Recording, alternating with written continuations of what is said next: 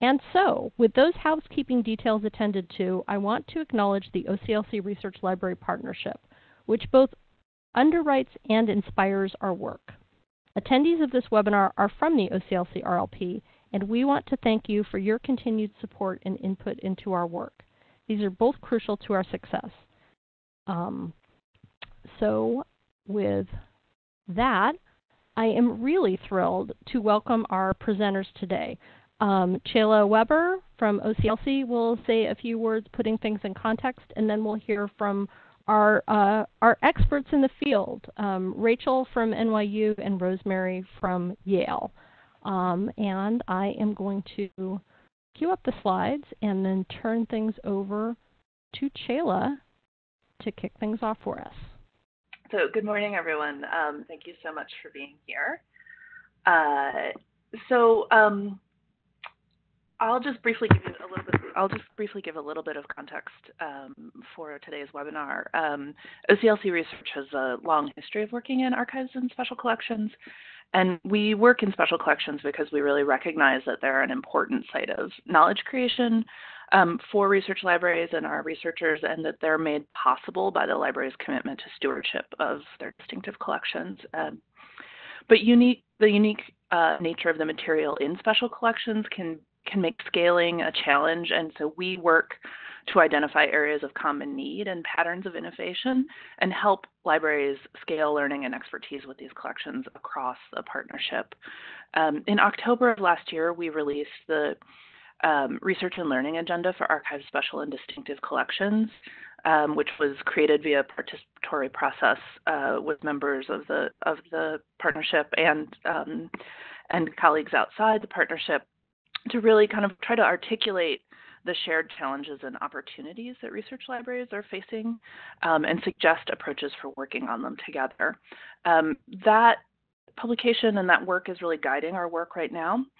And, um, and so this year we're presenting a number of webinars that respond to issues surfaced during um, our work on the agenda. Um, so accessioning was one of the issues that was highlighted, and these are a couple of pull quotes from the um, from the agenda about accessioning. Um, so, though it's really long been understood to be a core function of archival management, it's not a function that's gotten a lot of thought beyond the basic definition of gaining legal, physical, and intellectual control of our collections. Um, and as the profession has continued to grapple with our backlogs, I think, and understood the the really systemic impact that backlogs have, um, we continue to kind of try to develop better ways to deal with them, right? And uh, and comprehensive surveys and other work with the backlogs have have helped us understand what kind of control and understanding we don't have of our collections, and therefore what kind of control we want moving forward. Um, and and it came and it became clear in our conversations that accessioning um, is the is the first step, is the fundamental first step of the kind of control and understanding we want to have, and so it needs to be more of a considered part of our thinking and our theory and practice around um, access-centered and holistic collections management programs. Um, so because of that, uh, uh, today I've asked two speakers um, from RLP institutions uh, with programs that have made a, a, real commitment to accessioning as an integral part of their holistic program on collections management. Both programs have at least one position dedicated entirely to accessioning um, and have for a number of years. Um, uh, the Beinecke has had an accessioning program for more than 10 years, and NYU has been developing their accessioning program for the last three and a half or four years. Um, and while not every program will be able to do this or has the number of staff to do this, I think that every program can benefit from their really deep experience and thinking um, in this area. So, uh, so with that, uh, we will uh, take it away. Let's see, um, and Rosemary, I will pass the uh, presenter privileges to to. Let's see. I think to we you? were going oh, to to, Rachel. To Rachel. Rachel okay. First, so okay. Take it away, Rachel. And I'm going to take you off mute. There you go. Uh, thanks, Merrilee. Thanks, Chela. Um, just a quick housekeeping note. Um, I have a document with uh, links that I'm going to refer to throughout this webinar. So it's bit.ly forward slash OCLC hyphen accessioning. So uh, anything I mention or show, don't worry about uh, writing down that uh, location. It'll be there, and um, I'll keep it up afterwards so that people can access it. So, um, hi everyone. Uh, I'm Rachel Searcy, and I'm the accessioning archivist at New York University Libraries. And um, I actually did maybe the same pull quote that Chela did. um, I'm really excited that OCLC Research uh, wanted to develop this webinar. Um, like Chela mentioned, accessioning's been neglected in the profession for a while, both uh, from our theoretical understanding, but also just in day-to-day practice.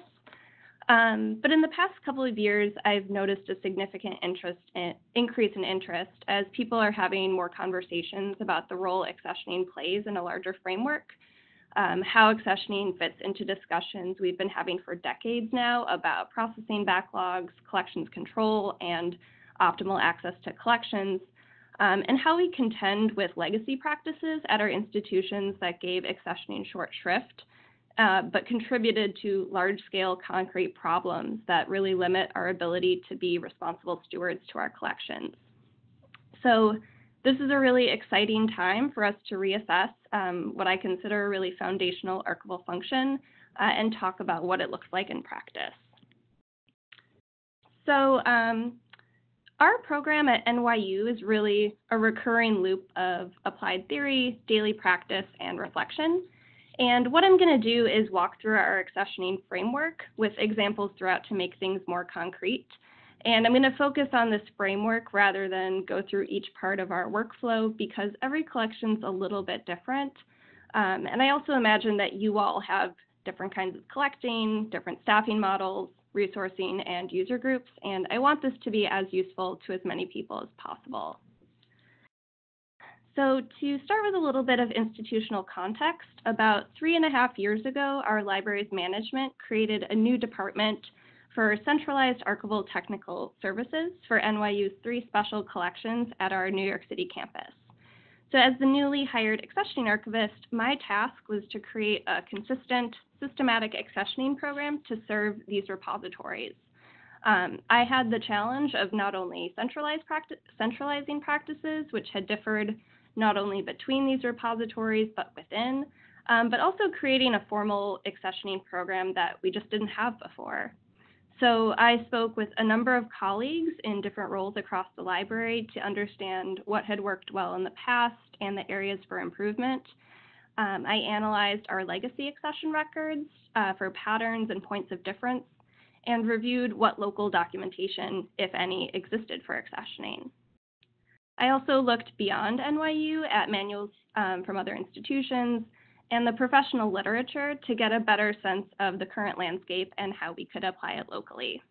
Um, and at, at the risk of sounding terribly self-promoting, um, I just wrote an article um, published by the Journal of Archival Organization uh, called Beyond Control, Accessioning Practices for Extensible Archival Management, um, which I mention here um, because there are some aspects that I'm just going to describe briefly, but go into far greater detail in that article. So uh, since this webinar is called Articulating Accessioning, uh, I thought it would be a good idea to define it. When I was reviewing manuals and scholarship related to accessioning, I found a real lack of clarity in terms of what accessioning is, should be, and the reason we do it. Some definitions equate accessioning with the transfer and change of physical custody of the collection, whereas others imply you know, some kind of other work to record information about the collection at this stage. Um, but overall, it doesn't leave the archivist with a solid grounding to return to when making decisions in the wild. Um, and that's one of the reasons I think theory is important in a profession like ours, um, not as something isolated, but a resource for us to return to when we have to make judgment calls that may not have a clear right or wrong answer. And if we lack that theory and conceptual underpinning, we also lack that guiding star to help us make decisions thoughtfully and consistently. So in light of that ambiguity around accessioning, um, I developed my own definition. So for us, accessioning refers to the activities we carry out to examine, stabilize, and document information about archival materials upon our arrival, thus confirming our stewardship of the collections. So this definition is concrete about what we are doing and why we do it. Um, almost always, accessioning is described as the process of establishing three types of control over materials physical, legal, and intellectual. Um, and this model is both a little ambiguous and restrictive um, and presents accessioning as a series of self explanatory tasks. But it doesn't help us exercise professional, judgment, professional judgment when making practical decisions, um, especially when confronting new or complex issues. Um, there's been some great work to talk about accessioning as part of efficient or extensible archival frameworks, but I think we still have some work to do to more fully understand what accessioning is about and the role it plays. So this analysis informs a few decisions with our program at NYU. Uh, one thing that became apparent from this review was that this traditional view of accessioning and the three controls would be insufficient. And these distinctions are not merely semantic hair splitting, or at least I hope not, um, but rather that that traditional view doesn't fully encompass the activities we undertake or the goals we're trying to achieve. So to eliminate ambiguity in practice and make our expectations concrete, we need different terms and benchmarks for success. So in the course of accessioning archival materials, we work to establish a baseline of control upon their arrival so that we have an accurate understanding of our holdings and to ensure that materials are safe from needless damage or deterioration until they receive further attention. So to do this, we stabilize materials by identifying and addressing immediate preservation concerns, rehousing materials to prevent damage, separating and inventorying born digital materials, and tracking locations at the box or object level. We establish administrative control by documenting the legal transfer of materials, terms of access, and intellectual property status of the collection in the descriptive record.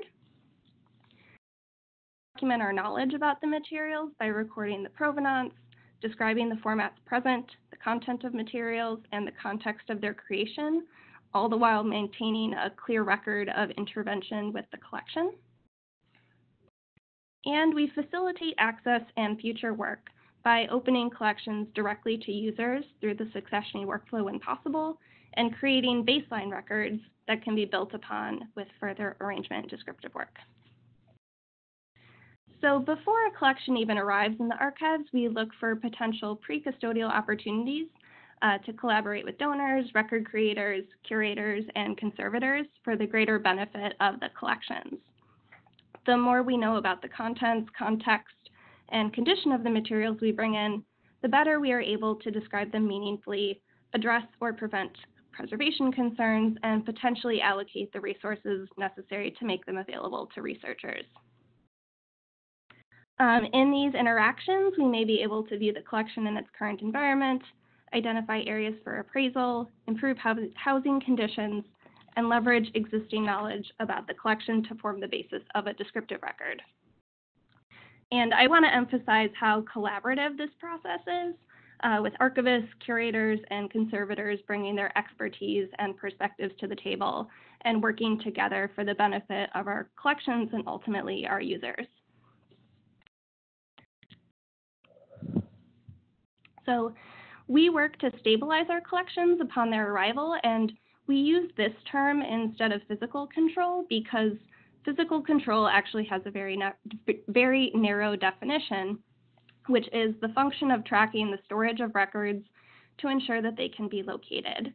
Um, and we definitely want to do that, but we also need to do other things to ensure that the collections are safe from needless damage in our care. Um, to stabilize materials, we establish physical control, uh, enact preventive conservation measures as appropriate, and address the needs of born digital materials. So the photographs in these next two slides illustrate why physical control is not enough. Uh, the boxes on this slide are broken, uh, not safe to be picked up or moved, are too large to fit on our shelving, um, and in one of those photos, the collection isn't even in boxes, it's in garbage bags. So to stabilize these materials, we need to do more than simply document their location. Uh, they also need some rehousing. And it's not just about the boxes themselves. We need to think about what's inside. Uh, a box that is underfilled will result in slumping and damage to the materials over time. Materials with evidence of mold or pest damage uh, present urgent threats to our collection, and materials should be oriented as appropriate for their format. And we also deal with materials where the physical form is unimportant, or in the case of something like emails, never had a physical form at all. So we need to think about stabilization beyond just boxes toward thinking about how we make that information stable. So to do this, we inspect collections for mold, pests, and other contaminants. Excuse me. And these must be addressed with our curators and conservators so that we don't contaminate um, the other collections in our space or retain materials that we don't want to keep. We house or rehouse materials as appropriate so that they are stable and don't become damaged in the time between accessioning and further work. So we replace broken boxes, boxes made of materials that could negatively impact the collections, or boxes that are inappropriate for their contents. Uh, and we ensure that those boxes are properly filled to prevent slumping. But we really limit um, actions like foldering or refoldering or removing uh, metal fasteners as we are looking to establish a baseline uh, rather than make everything pristine and perfect. And that takes time away from working on other collections. We uh, record the extent of the physical materials so that we understand how large a collection is. Um, we identify, physically separate, and inventory born digital materials so that we understand how much is there, um, and if possible, create a disk image as part of accessioning. Um, and this is really where um, one of the places where that traditional accessioning framework feels especially static, as we must think about the actions and tools necessary to stabilize born digital materials. And then finally, uh, we record the material's location so that they can easily be tracked and retrieved, avoiding loss and displacement. So at the end of accessioning, an archivist should know how large a collection is and where each part of it is located. But when accessioning isn't done, an archivist may have trouble locating the collection um, or accidentally leave a few boxes out of their plan because they couldn't find them or didn't know they existed. They may be unable to accurately estimate how long processing will take, may need to do extra rehousing if the collection as it is cannot um, be moved safely, and may need to do um, extensive cleaning or rehousing if materials have been contaminated, adding significant time to their work.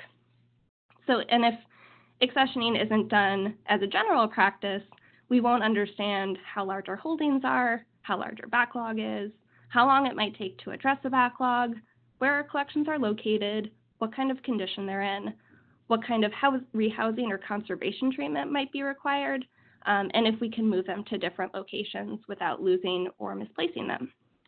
So not accessioning or poor accessioning can really create some serious large-scale problems. So legal control is established as part of acquisition, and during accessioning, we work to communicate administrative control.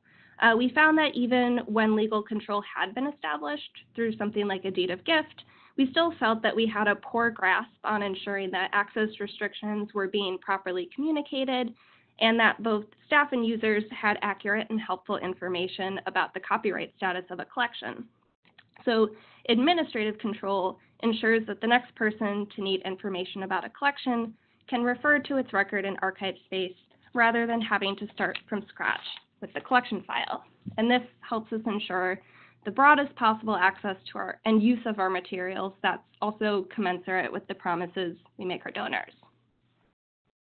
So to do this, we analyze the deed of gift, contract, or terms of transfer, and then select an appropriate option from a series of set language options we have in our local ArchivesSpace manual to populate the following fields in both um, an accession and a resource record. So those are um, the immediate source of acquisition, custodial history, conditions governing access, and conditions governing use.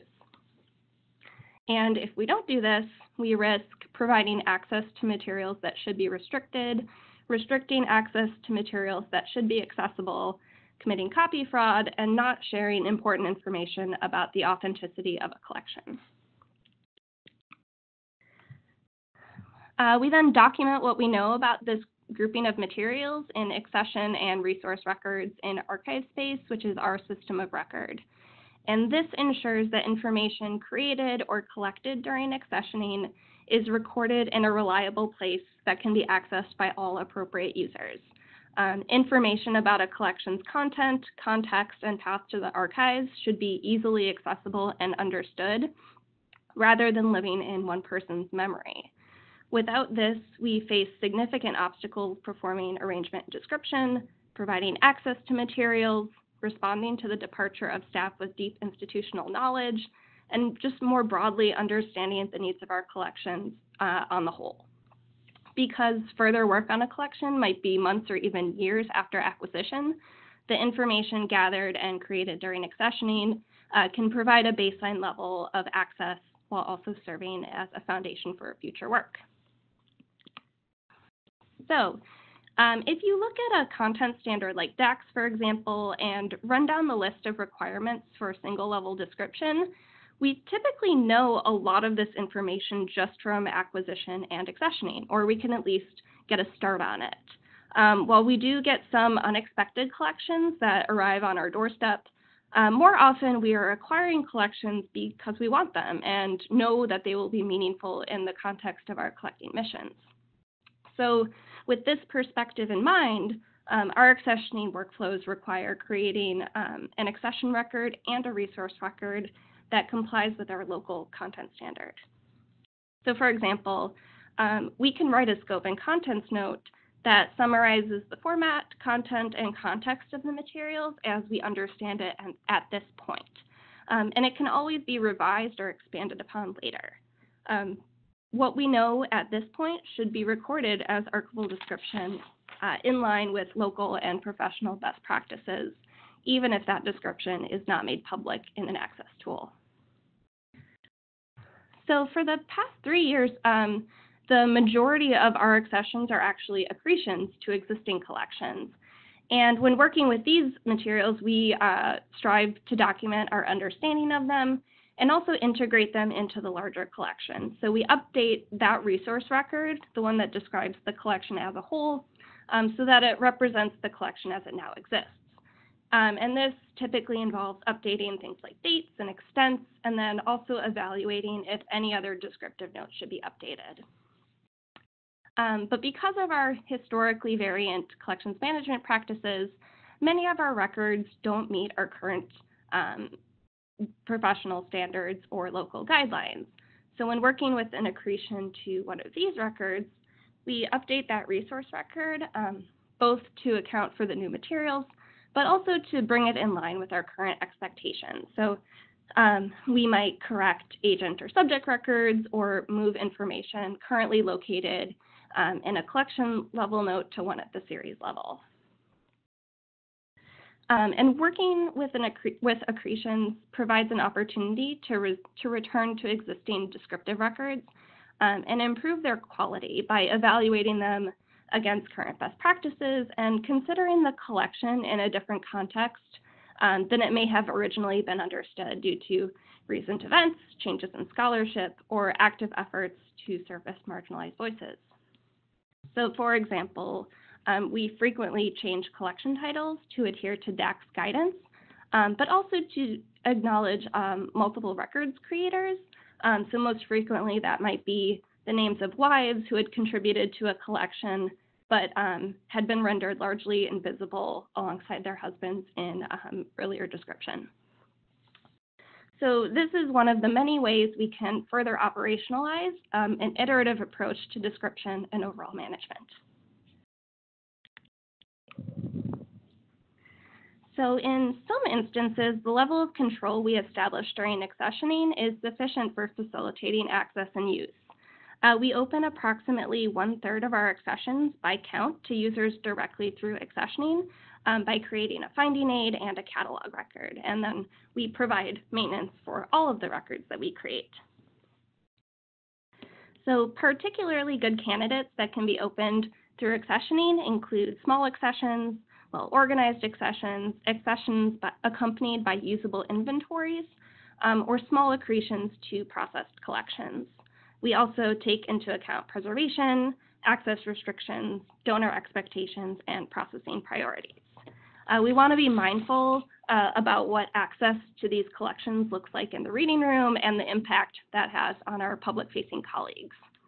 Uh, we look for efficient methods to describe our collections and make them discoverable. So here you can see um, some of the different stages a collection might go through, starting with um, an inventory in Excel that can be ingested into ArchivesSpace, maybe with the help of OpenRefine, which uh, can then produce an EAD encoded file or a MARC record, all from the same description.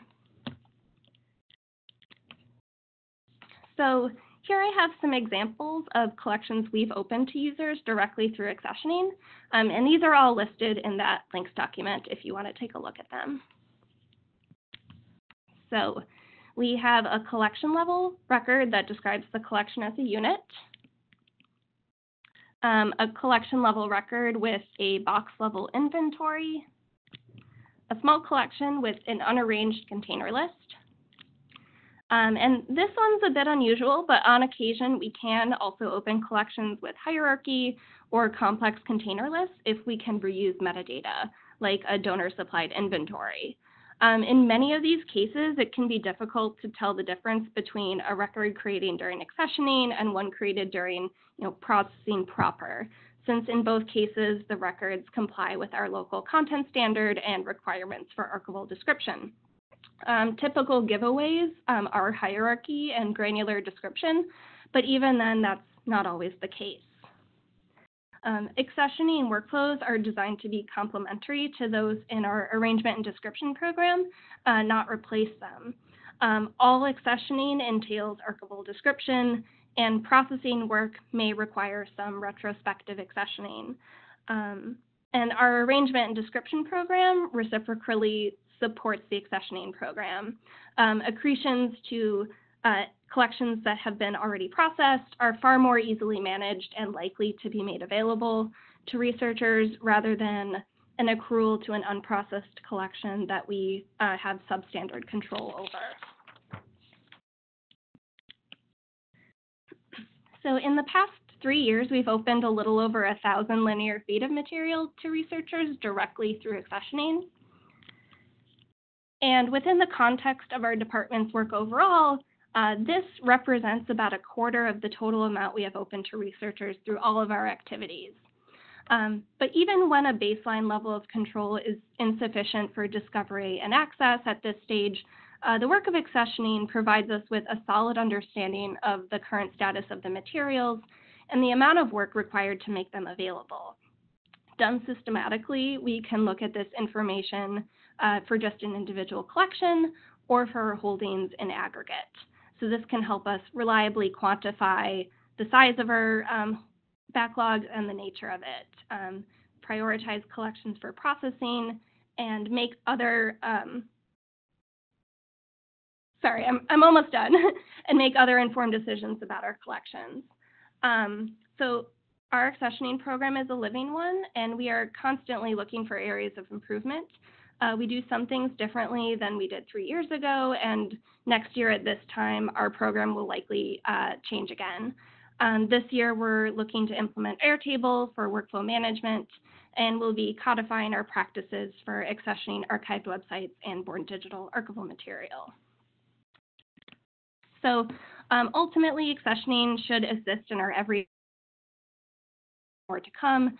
Um, and as we have these conversations about backlogs, collections control, and access to our collections, uh, both locally at our institutions um, and broadly in the profession, accessioning needs to be part of that discussion. Um, I've been thinking a lot about accessioning as a kind of archival infrastructure and how, when it's done well, it's usually not flashy or fades in the background. Um, but when it isn't done well or at all, it can really wreak havoc on our collections and our ability to manage them. Um, and it requires a whole lot more work to fix. So um, I hope that this look at our approach to accessioning will be helpful to people. Um, and I'm also happy to answer any questions at the end. Um, and with that, I'll hand things over to Rosemary. Great. Thank you, Rachel. Um, Rosemary, I'm going to take you off mute. There you go. Great. All right, let me see if I can get this to work. There we go. All right. Morning, everybody. Uh, I'd like to thank the OCLC folks for inviting me to be a part of the webinar. Uh, my talk today is an adaptation of my presentation at SAA back in August. And while my awesome co-presenter Rachel has very wisely focused on the specifics of accessioning workflows, including a lot of helpful concrete details, I'm going to shift gears a tiny bit and talk about how my library historically and currently supports accessioning, um, but also about how complicated and important accessioning work can be in terms of emotional, temporal, and institutional investment. Um, so I am the accessioning archivist for the Beinecke Rare Book and Manuscript Library at Yale. Uh, prior to my role with the Beinecke, I worked a series of project processing gigs at various institutions doing fairly traditional uh, non MPLP arrangement description of collections. Accessioning in general and at the Beinecke specifically is a totally different beast uh, from the type of archival work that I'd been doing before. Uh, it requires a unique and ever shifting blend of emotional, physical, and intellectual labors that, you know, hopefully produce an increased number of accessible collections at a quicker rate than more granular processing strategies. Uh, I would say that those of us doing accessioning work do so responsively uh, iteratively and uh, fairly relentlessly.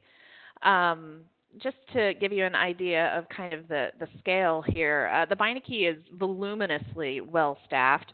Uh, we have around 120 souls in the library proper, 24 of whom work in the manuscript unit, uh, with five of us working solely on accessioning. Um, and yet, uh, you know, a hallway full of pallets stacked high with collection materials is um, you know, much more the rule than the exception. Uh, to give you an idea of numbers, we typically acquire over 1,000 linear feet of manuscript material each fiscal year.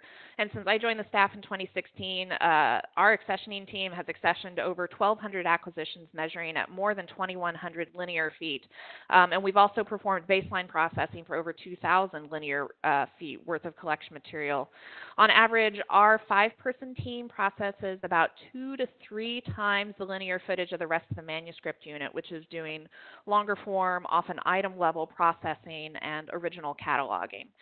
Uh, but I want to backtrack a little bit and give you an idea of how accessioning work has evolved at the Beinecke over the years. Um, and so, you know, in the beginning, there were curators. Uh, during the early days of the library, curators and their assistants were responsible for much of the paperwork and handling that went into new acquisitions.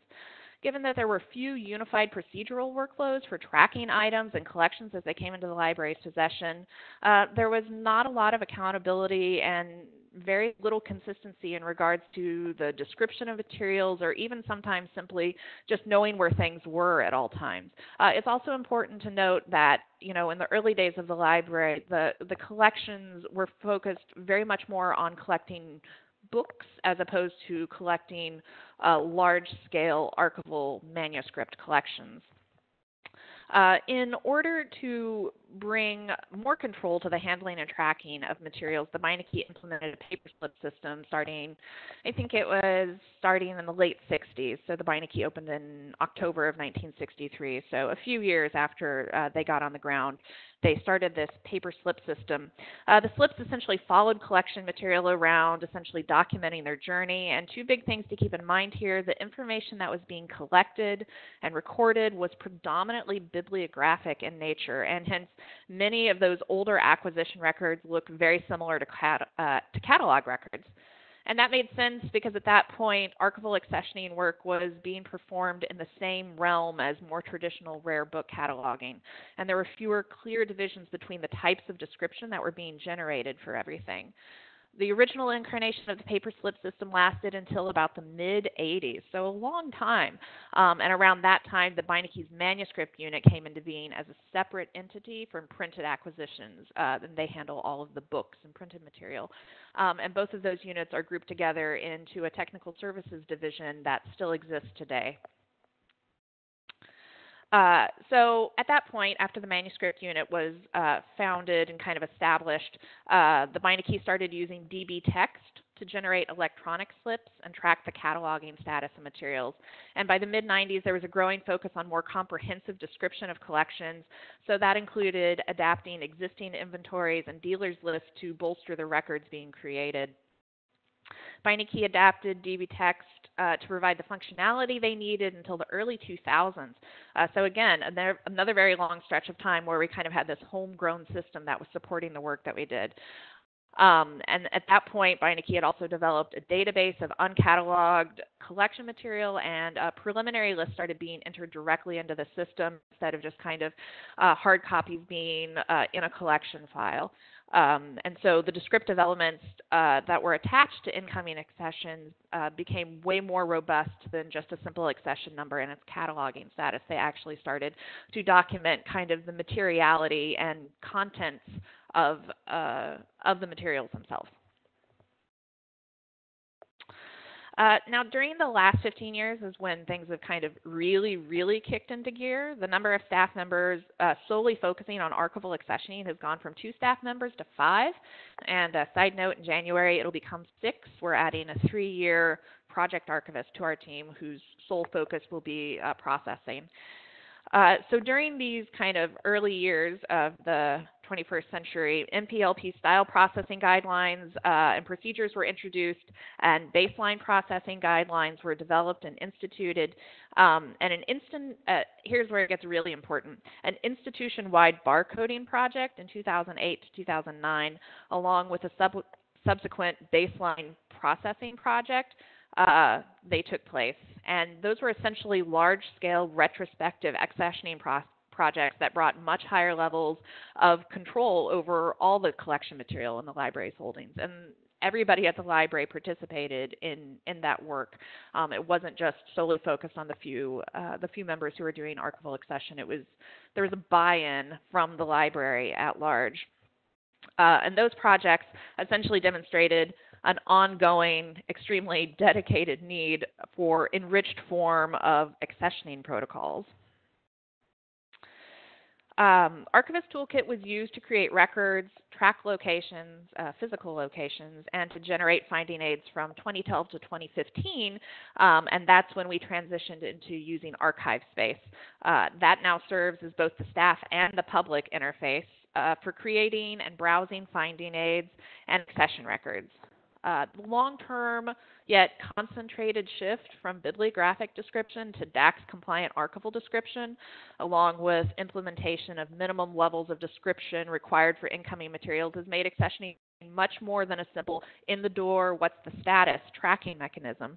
The work our team does is a foundational element of our institution's acquisitions workflow, and it helps to ensure that a comprehensive amount of structured data captured for all manuscript collection material. And I, you know, similar to what Rachel has done here, I just kind of want to show our required elements um, and our optional elements. And optional has huge air quotes around it, um, you know, because essentially almost all of these optional elements are usually standard practice. That's information that we collect as we go through. So when you look at pretty much any finding aid, uh, either performed, uh, you know, either that came out of accessioning or that came out of the rest of the manuscript unit, it's going to have almost all of these elements. So our accessioning team works to capture and record this information from all incoming manuscript items and collections. And at this point, I would just like to be really specific about the long list of stuff that we do as a team. So we'll start with assisting with or establishing shipping arrangements for incoming acquisitions, including in-person pickups and on-site packing. Uh, we create the initial accession record and archive space. We generate legal and payment paperwork, including deeds of gift and acknowledgments. We verify the contents of collections against existing inventories or non-existent inventories, um, going with dealers lists or you know word of mouth or emails. Um, basically, we have to assess what we have and make sure we have what we're supposed to have. Uh, physically stabilizing materials, and that includes freezing and rehousing. Um, let's see, performing baseline arrangement and description, including a finding aid and ArchivesSpace and a collection level catalog record um, that we use Voyager to create. Uh, this is a big tangle of responsibilities, but we manage them as best we can. And while all archival work contains elements of physical and intellectual and emotional labor, in my experience of working as an accessioning archivist, these three types of labor feel like they're intertwined much more intimately and more stressfully, and with a complexity that feels remarkable in some way. I think it's important to acknowledge um, to acknowledge this uh, alongside the more nuts and bolts aspects of our work, since it often feels like there can be a disjunct between the sometimes less acknowledged facets of the work that we do and the much more visible and kind of urgent expectations from our institutions about linear footage metrics and the concept of you know access. Uh, but it's more complex than that, and, and that should be more visible. So I want to give you an example. Um, physically obtaining the materials is one of the very first steps in our workflow, and I'd just like to kind of break it down. So there are a lot of dynamics that go into arranging pickups with donors and sellers. Some situations are very straightforward this many boxes, this address, this day, this time. But many pickups require more logistical gymnastics and a higher level of emotional sensitivity. Dealing directly with donors and dealers requires kindness, efficiency, and flexibility. And all of us here know that collection materials are rarely just boxes full of old things, but these boxes are actually full of lives lived, good and bad memories, accomplishments, personal connections. And it can be difficult to pin down a single spot on the calendar when asking someone to surrender the physical evidence of their own history or the history of someone they loved or, you know, hated. Um, internally at Yale, we also have to work out details for pickups with our transportation department. We know that's an immense privilege uh, to have a transportation department. Uh, they provide us with drivers and moving vans, and we have to be very precise about where the truck is going, what kind of street they'll be parking on, if there are stairs, how many boxes, and so on. Sometimes we pick up dozens of boxes, or sometimes to pick up as a single item. That all happens. We have to be able to cover everything between one thing and, you know, hundreds of things in all different types of states. More often than not, though, we're just going to people's homes. We go into their apartments, we see where they live, we navigate their living rooms. We usually get into conversations about what they're giving to the library and why. We explain how we'll be taking care of their collections. We explain what processing means. We tell them that there will be a catalog record and that they'll be able to find it online. We talk about the library and how people use its collections. And I always try to answer questions. I'm very usually the person who shows up. I always ask if they have questions because sometimes they're quiet and they might not be as forthcoming uh, about their anxieties or their excitements. I always try to say, is there anything that you need from me? Part of this work is being a resource for the donor to demonstrate that careful stewardship of their collection starts in the moment that I'm standing in their home or their garage or their storage unit you know, part of this work is convincing them that even though I'm, you know, very sweaty and wearing jeans and loading a truck, uh, that I'll also be helping them make sure that the documentation of their lives and work will be cared for, will be visible to others, and will be understood. I ask for trust every time I show up at someone's door. Uh, you know, and of course, the other big part of this work on pickup day is actually just getting things packed up. Collections come to us on all forms. Some of them are beautifully labeled and inventoried, and the boxes actually have functional handles. It's wonderful and always surprising when it happens. Uh, more often, though, collections accrue over time. They're boxed up to save space. There's so many wine boxes involved in these pickups, um, you know, or they're packed in a hurry right before you show up, or they're not packed at all, and part of your job is trying to figure out how you can safely get everything from one point to the other. Um, and when I arrive at a location, in addition to being present and helpful to the person on site, I also have to just be actively assessing the physical status of everything that needs to be loaded up, making constant judgments about how to efficiently and safely move things. And we kind of have to be ready for anything and everything and you know just keep in mind again i you know i want to come back to this slide for a second because you know collection material pickups are just one of the first stops on the accessioning train. After getting materials to the library, members of our team then proceed to pay the bills, record the collection's physical presence at the library, ascertain what exactly is in all of those boxes, and make sure that we have what we're expected to have decipher any existing inventories or documentation that came along with the collection, ensure that the material is physically stable and figure out if we have insects or mold to deal with. Do we need to put everything in the deep freeze? Do we need to bag everything? Do we have to get it out of the building? What's going on? Uh, we have to shift other collections in our physical space to make room for temporary storage and active work with the new materials. We have to correspond with the donor to answer questions about when the materials will be available or, why does the finding aid look so very different than the spreadsheet that was provided. Uh, we have to respond to researchers who need to use the collection before we've even taken it off the pallet, and we have to work independently or as a team to perform the first iteration of physical and intellectual processing. And I mentioned different types of labor before because it's something that I really think about a lot, especially since I started in the current position uh, you know, just seeing this list of different duties that make up my day to day work is clarifying.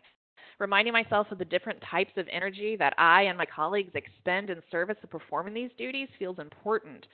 And acknowledging the complexity that undergirds even the most seemingly mundane decisions is crucial to understanding how we can more consciously evolve towards practices that not only better serve patrons and donors and local communities, but are also ultimately better serving ourselves as archivists who want to grow and gain joy from the work that we do every day. Looking at this also reminds me of how much energy we direct outwardly beyond the walls of our archives as we interact over email and in person with people who are handing over their life's work, their partners' memories, the products they created, the records they kept. I feel like this list really helps give a clear view of the impact that thoughtful and comprehensive accessioning work can have for an institution when it's done well. Stats seem really dry, but this is the work behind the numbers. Robust accessioning procedures result not only in having a stronger day to day handle on the physical and intellectual status of everything you already have, but they also facilitate the development of richer pre custodial work on collections headed in your direction. They speed the settlement of financial and legal transactions related to your acquisitions. And uh, they generally just foster an increased likelihood that you and your colleagues can react to emotional and logistical curveballs with grace and power instead of disarray. Acknowledging the humanity of our collections, our donors, our archivists, and our mission is all wrapped up in the way that we build relationships between every aspect and every individual involved in the acquisitions process. Effective accessioning work really is a true hybrid of archival workflows from so many different areas administrative, legal, transportation, arrangement and description, donor relations, preservation, cataloging. And it takes time, institutional buy in, lots and lots of documentation, an immense amount of empathy, and endless strategizing. But it's worth it. And when this work is supported by an organization, everyone benefits.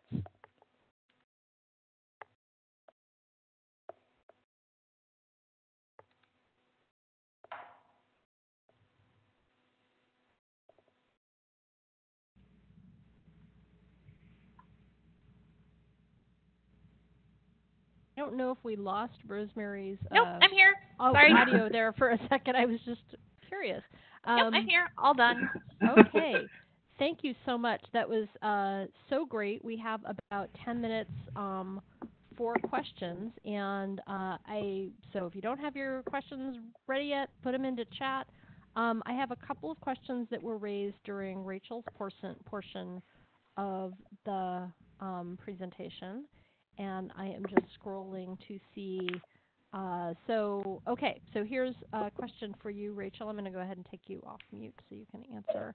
Um, for serious conservation, so this is uh, was at the point where you were showing all of the scary boxing um, and conservation uh, slides. I think everybody loves loves and loathes those photos um, because it's so familiar. Um, for serious conservation concerns like the mold, do you quarantine before or while reboxing?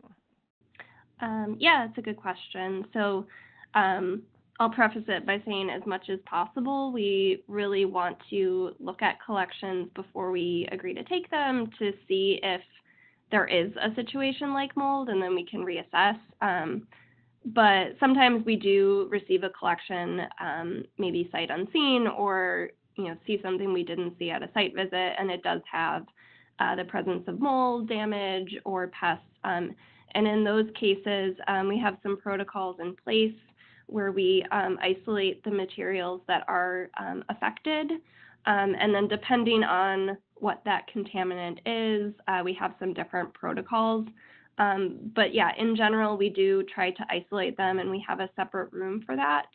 Um, and then we'll reassess the situation with um, both our conservators and our curators because that might change um, whether they want to retain the material or not. Um, and then we don't want to go through any work of, you know, cleaning or rehousing if it's not something we want to keep. So um, I hope that answers the question. Great, thank you. Um, another question from your portion of the webinar, pardon me. Uh, do you create the accession record and the resource record at the same time during accessioning? Um, yes. So um, during accessioning, we create an accession record in ArchivesSpace that um, just describes that grouping of materials on its own. And then we also either create or edit the resource record so that it describes the uh, collection as a whole unit. So ArchivesSpace has a functionality where you can, it's called spawning, where you can use your accession record to uh, automatically pre-populate um, some of the fields in that resource record. Wonderful, thank you. Um, another question, at our institution, we have to provide internal monetary value. Um, do you have any comments or suggestions on good practices? Is this something that you either of you do at your institutions? Um, at NYU, this is not something that we do, at least in terms of um, like keeping in the sort of archival collections management system. Um, it might be something that the curators do, but I actually don't know about that. Rosemary, do you have any? Yeah, not that not that I know of. Um, I, I don't think that's something that we've that we do here. Um, I'll I'll jump in uh, and say I I previous Chela and I previously worked with Rachel at NYU, and sometimes we needed to do that for our development department, um, uh, so that because they reported numbers out it, uh, internally. Um, I wouldn't ever do that for an external. Um, uh, I would never give valuations to a, someone externally.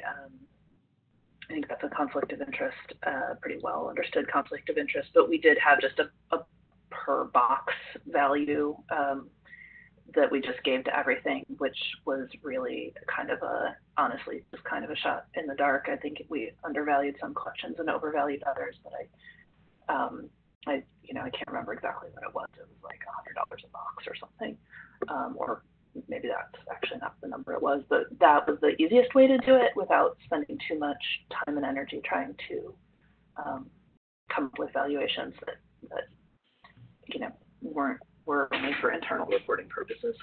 Right, on a per box or per collection level. Yeah. Um, yeah. That sounds uh, sensible. Um, so here's a question for Rosemary. Uh, you mentioned the spreadsheet that's provided by um, donors. Is it your standard practice to ask donors to provide a brief listing, and do you ask them to mark or number the boxes? Uh, yeah, we actually absolutely do both of those things. Uh, we're in the process of developing guidelines both for donors and dealers, um, as well as just like an actual packing how to pack your collections document uh, that we can give to people because uh, part of the thing that we do, you know, we do collect, collection pickups so that they're in a certain geographic region, um, but we also arrange shipping logistics through, uh, you know, a couple of contractors. But sometimes I'm also calling FedEx offices and saying, you know, here's my credit card number. Will you please print up shipping labels for this person? They're bringing in a box. So um, we are trying to develop kind of like a standard baseline amount of information that we request up front from dealers and donors so that we have an idea of what's in the boxes. Um, it speeds verification so we can find particular items, um, you know, to ensure that we have what we're supposed to have. Um, but it also gives us information to repurpose for the finding aid. Um, it allows us to delegate the work of processing a little bit more efficiently, uh, both you know within the team, but also to our student workers if we have them. Um, and we absolutely ask them to uh, number the boxes if possible uh, and have that line up with the inventory that they provide us so we can cross check things more quickly. Um, it's, you know, a spotty response. It depends on, you know, who you're getting stuff from, um, but usually people are more than happy to give that kind of information. It gives them a little bit of buy in uh, to kind of the acquisition process beyond just handing off their materials. Um, it gives them a, a, chance to evaluate what they're giving, um, and it usually ends up getting getting us either a list and or a little bit more contextual information about what they're giving us, which allows us to do, you know, better scope notes. So. Great. Um, so here's a question for both of you. Uh, where does the accessioning unit sit in relation to the curatorial and processing units, and um, and if it exists, a collection management unit? This would probably be easier if we had a whiteboard or something. Yeah, I mean, I can for the Beinecke accessioning is one of the two uh, sections of technical services, which is essentially our collection management department. So uh, technical services is broken into manuscript unit and uh, printed acquisition. So printed acquisitions deals with all of the books, um, and we deal with everybody's papers. And then accessioning within our side of the manuscript unit, it's accessioning the five of us, and we work alongside uh, processors, and there's uh, over 20 of them, and so they do the more long form um, and detailed processing work. Um, but then we have uh, we liaison with the curatorial group uh, and the administrative group um, all all the time. So we're just you know we're one small ring of the circus, but it's a you know a wheel within a uh, you know, inside a wheel, inside a wheel. So.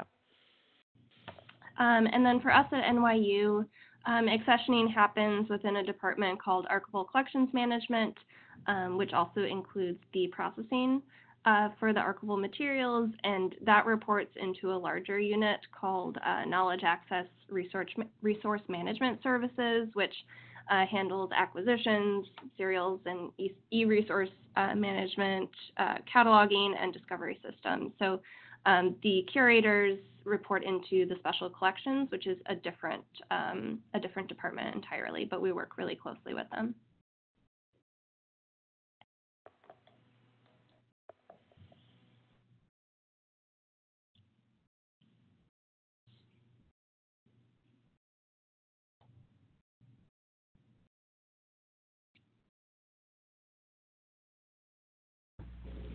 Um, Merrilee, do you want to do one more time for a couple I'm sorry, I was on mute. um, and reading off my question. Um, so we have about time for one more question. Um, uh, this is uh, for Rosemary. Um, Audra expresses appreciation for the impact slide. I also have great appreciation for that slide and wondering if you have ever used this to provide data to resource allocators, administrators, donor on the operational impact of accessioning work. Um, I think I'm in a pretty fortunate situation that the uh, that the administrators are are fairly already since I've been here supportive of the work that we do. Um, I know that I use this slide at, at SAA, and I actually heard back from several uh, curators and and the the head of the library talking about how it was good for them to see how it was kind of parceled out in that way, um, kind of in that granular way. So um, I think it definitely has an impact for people to both see how complex this work is, but just also the type of energy it takes from the workforce, from the people who are doing it. Um, so I think it's I think it's a really good method of kind of communicating the the depth of the work that we do. So I'm I'm happy it's you know actually made sense to people and kind of help them understand what we do a little bit better. Okay, uh, great. So we are unfortunately out of time, um, but I want to thank uh, our presenters for doing such a great job today. Uh, this webinar has been recorded and you will be receiving, um, as soon as this is posted to our website, you'll get an email from me um, uh, with links to that um, event page uh, when it's updated And um, we hope that you will definitely register for uh, other webinars that we have upcoming in this series. We'll send a link to all of those as well. Encourage your colleagues to come along with you. It's always uh, learning is always more fun together. Uh, we find so. Thank you so much um, to our presenters, and this concludes today's webinar. Thank you. Thanks, everyone.